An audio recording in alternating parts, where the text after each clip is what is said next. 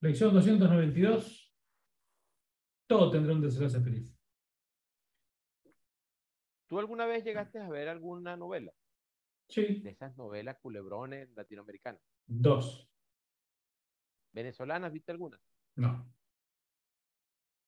¿Colombianas? No, Argentina, Argentina.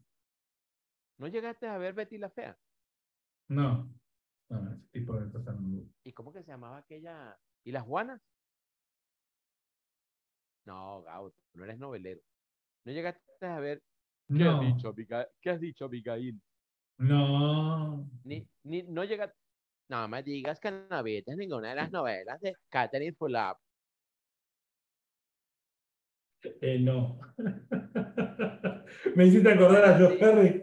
Me hiciste acordar a Joe Harry que dice, cuenta cómo es ver novelas en, en Estados Unidos, Miami. Son todas mexicanas las novelas, obviamente. Y extraña muchísimo a su Catherine Fulop. Es para morirse de la risa. Ese video es buenísimo. Este, Buenos días, no, mi gente bella. ¿Cómo están? no, no, no, no. No, dos novelas que he visto, no, no, nada. Olvídate. Argentina. ¿Y las brasileñas? No, ni vaina. Los inmigrantes. No, no, no. La otra, ¿cómo se llamaba? Había una que, que fue fam- famosísima. Claro. La del La turco. esclavizaura. No, pero hace Eh, poco hubo una brasilera re famosa. Va, Café con aroma de mujer. Madonna Santa, fue con el de mujer. ¿Y sin Lola no hay paraíso? ¿Existe una novela que se llama así? No, no decía sin Lola, decía sin teta no hay paraíso. ¿Así dice la, la historia Claro. de la novela? Sí, colombiana. Usted es tipo muy novelero. Por favor, yo soy farandulero. Farandulero no es lo mismo que novelero. ¿No? No, porque farandulero es el que habla de los actores de, la- de las novelas, de la vaina. Que si conoce quién anda con quién, quién se casa con quién, pues, con los amantes. Usted, usted es novelero. ¿Le gustan las novelas? No, habla- hablando en serio, no, hablando en serio. No, no las veí, no las veí, no las vi así que ninguna me enganchara. Un amigo me contó. Usted la frase, un amigo me contó. Un amigo me contó. Hablando en serio, no era, por supuesto que no, eh, por, por la cultura de no, las son para la mujer y demás. Sí. Pero me tocara verla ahí por, por añadidura, porque coño, porque en la casa el momento en que yo perdía el control era el momento, la, la hora de la novela. Entonces, coño, ya yo no podía, entonces, yo estaba tan pegado al televisor, tan, tan ah, adicto a él, entonces mi mamá veía la novela con mi hermana, pero yo me quedaba al lado de que hacía- jugando, pero me paraba la oreja de la novela. Entonces, al final la Obvio, no otra, no queda otra, claro. Claro, y no había mucha cosa que hacer. Y bueno, entonces, años y años de novela, Grecia Colmenares y toda esa gente, ¿no? todas esas. Arnaldo André. Claro. ¿Estás pensando? López, Fedra.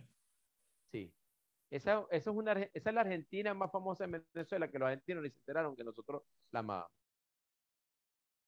Había una chica argentina que vivía en Venezuela que era casi venezolana entonces. Cuando llegó era el monumento de mujer. Ah, Entonces todos los venezolanos la mirábamos.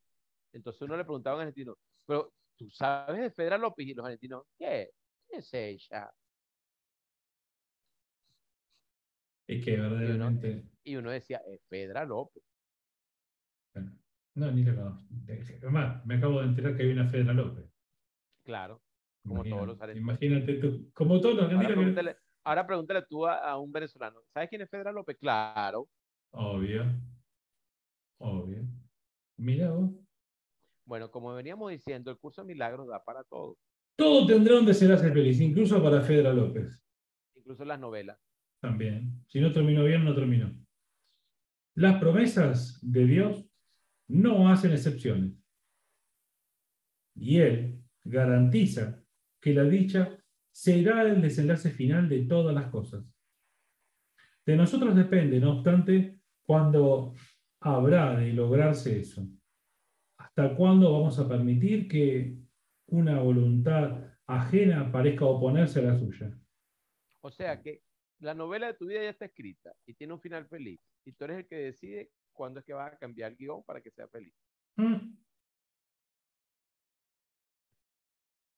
Dice, pues mientras pensemos que esa voluntad es real, no hallaremos el final que Él ha dispuesto que sea el desenlace de todos los problemas que percibimos, de todas las tribulaciones que vemos y de todas las situaciones a que nos enfrentamos. Mas ese final es seguro, pues la voluntad de Dios se hace en la tierra así como en el cielo. Lo buscaremos y lo hallaremos, tal como dispone su verdadera voluntad, la cual garantiza que nuestra voluntad se hace.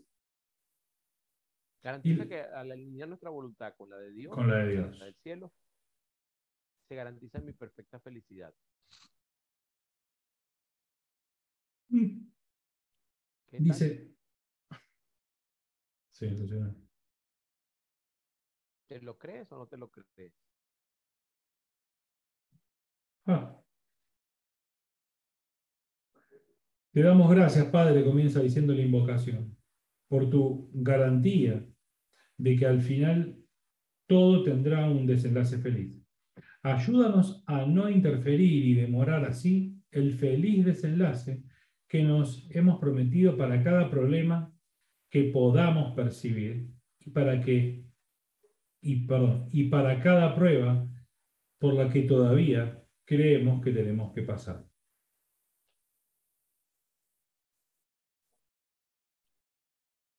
Amén. Mañana lección 293 y nos veremos ahí. Hermanos, bendiciones para todos.